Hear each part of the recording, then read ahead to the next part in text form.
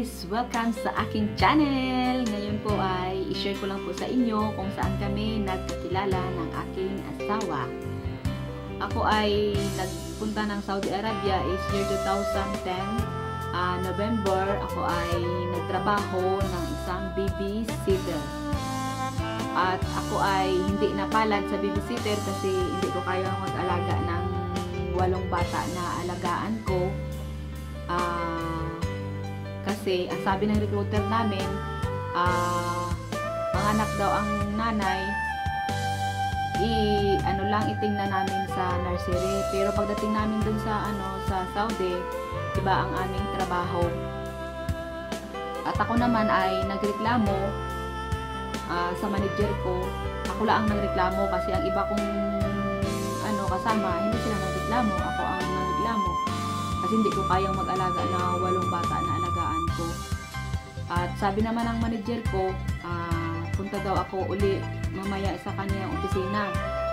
At ako ay nagpunta doon, sinabihan ako na uh, ano daw, uh, Roslyn, mag ano ka na, magtupi ka na ng mga damit mo. Kasi terminate ka na, uwi ka na mamayang gabi. Nashock ako, sabi niya, ng manager ko, uwi daw ako mamayang gabi. Uh, at ako naman ay umiyak dun sa kanya. Sabi ko, sir, maawa ka sa akin. Uh, wag mo ko papauwiin ng Pilipinas kasi ang daming utang ko doon sa Pilipinas. Hindi ko pa nabayaran, sir. Maawa ka sa akin, please. At naawa ang manager sa akin. Sinabihan ako na mag-cleaner na lang ako. Uh, nag-training ako ng isang buwan. Pagkatapos, ko training ng isang buwan, uh, gin-transfer ako nila sa ibang ano sa ibang site uh, parehas man ng company. Doon ako nila gin-transfer sa HL gin-transfer ako nila sa HL is January. Nag-start ako ng cleaner doon pagdating ko sa HL uh, mga 3 months lang siguro tapos kinukuha ako ng manager ko magtrabaho sa laundry. Ang trabaho namin sa laundry ay nag ano kami nag nag-collect kami ng mga damit na mga ano pasyente, ng mga dumi, mga bedsheet, mga blanket at nalabahan namin sa laundry. Pagkatapos 'yon, uh, labahan, ginaplansya namin, natupi. Pagkatapos 'yon, binabalik namin sa loob ng ospital naman uli.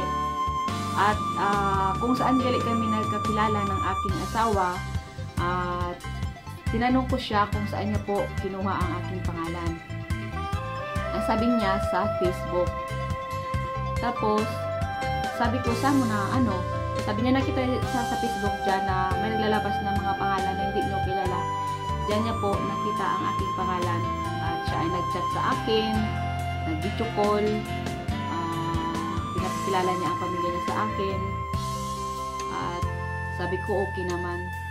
At nakilala ko siya is uh, Jan uh, February 16, 2000, ano, 11 ko siya nakilala. Pagkatapos, hindi ko pa siya sinagot kasi natakot ako kasi ibang lahi sila, ibang language sila, hindi ko, hindi natin alam kung baka uh, anong ang ugali eh. 'Di ba? At sinagot ko siya is year 2012, February 16 ko siya sinagot. At uh, ang sabi niya sa akin, uh, kung mahal ko daw siya, i-change ko daw ang apelido niya. Tapos, gin-change ko naman ang apelido niya kasi parang mahal ko na siya kasi mabait siya, uh, pamilya niya mabait. At uh, ako naman ay gin-transfer na manager ko sa ibang ano hospital. Ako doon ay nag-supervise ng mga cleaner. At sige pa rin ang chat namin ng asawa ko ng communication namin. At uh, ako nag-exit na po ako. Tapos na po ang kontrata ko is year 2016 May. Tapos na po ang kontrata ko.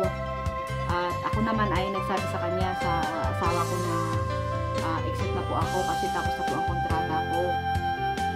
Sabi niya sa akin, uh, sige, susunod daw siya ng, ano, ng Pilipinas. Uh, ako nag-uwi is May 2016 ako nag-uwi. Tapos, siya nagpunta ng, ano, ng Manila, Pilipinas, in, ano, October 1, 2016. Siya nagpunta ng Pilipinas. Tapos, king kasal kami sa judge is, uh, October 17 kami kinasal. Pagkatapos, nagbalik siya dito sa Turkey, is October 31 siya nagbalik dito sa Turkey. At ako naman ay nag-process ako ng papers ko para makapunta ako dito sa Turkey. At ang una ko, gipuntahan ang NSO kasi itingnan ko doon kung na-registered ba ang kasal namin. At sabi naman ng ano ng NSO, hindi pa daw pinapo na forward ang ang aming marriage contract. Sabi nila ng NSO, puntahan mo doon kung saan ka maging kasal. Nagpunta ako doon at kinuha ko ng ang marriage contract namin at ako na lang ang nag-register sa NSO. Sabi nila okay man daw ako na ako na lang ang mag ano magpa-register kasi uh, mamadali ako kasi uh, tinatawagan na ako ng passport ko eh. Uh, nagpa-change status po ako ng passport ko. Uh, kailangan ang marriage contract. Pagkatapos, ako na doon, uh, buong araw doon ako sa NSO ako na ang nagpa-register natapos ko na yun. Pagkatapos, pag umagahan, nagpunta na agad ako ng Bacolod kasi dito ako nag-apply sa Bacolod ng passport ko kasi uh, hindi daming tao nag-apply doon. Dito sa Iloilo, ang dami namin nag-apply ng passport. Dito sa Bacolod, madali lang. At naghintay lang ako ng one week, nagdating na po ang aking passport. At pagka 2 days siguro o 2 days nag uh, punta na ako ng nagbili na ako ng ticket pa Manila para makapunta ako ng Turkey Manila Embassy para ipasa ko na po ang lahat ko ng mga requirements pina ano ko na yon pinarin ribbon mga contract ko live birth ko lahat ng mga papers ko binibigay ko na doon ang sabi nila ang papers ko yun na binibigay sa kanila, i-forward nila dito sa Turkey. Uh, kung ma-aprobahan ba ang papers ko o hindi. Ang sabi nila sa akin, maghintay ako ng isang buwan. Sabi nila, mag-uwi na lang ako muna sa Iloilo. Tawagan lang kita uli kung okay na ba ang papers mo, na-approve na ba ng Turkey. Ang sabi ko, sige sir. Pagkatapos, mga, naghintay ako ng isang buwan, tinawagan ako nila. Sabi nila sa akin, uh, approve daw ang papers ko. Okay na, okay na. Walang problema. Pagkatapos nila, sabi naman sa akin, sige magpunta ka dito naman sa Manila, sa Turkey Manila Embassy, para ma-process naman ako ng uh, ano ko, ang visa.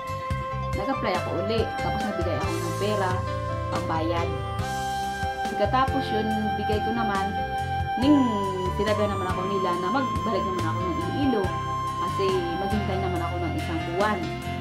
Naghintay ko naman ng isang buwan, tapos na yon tinawagan naman ako nila na uh, okay na ang paper, ang ano ko, ang visa ko. Da, dating na po ang visa ko. Ang sabi nila, uh, pwede ikaw na makapunta ng Turkey. Ako naman ay happy kasi walang problema ang papers ko at uh, sabi nila, tinatawagan nila na nila ang aking asawa na magbili na ng ticket.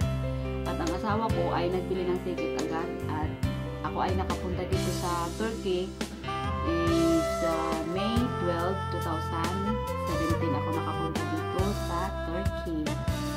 Yan lang po ang aking uh, story kung saan kami nagkakilala ng aking asawa at sana po nagustuhan niyo po ang aking story. Uh, don't forget to subscribe my YouTube channel, Torrance TV. And God bless po sa inyong lahat dyan. At bye-bye!